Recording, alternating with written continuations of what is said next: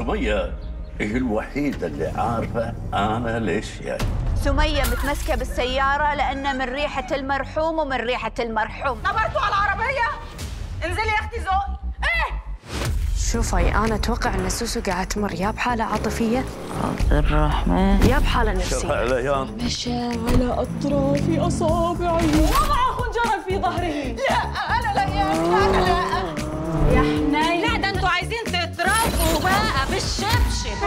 يسعد لي يا سمية أقدم لك وأطلب إيدك موافقة طبعا. زغرتي يا بنت.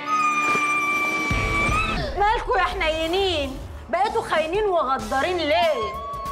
مبروك.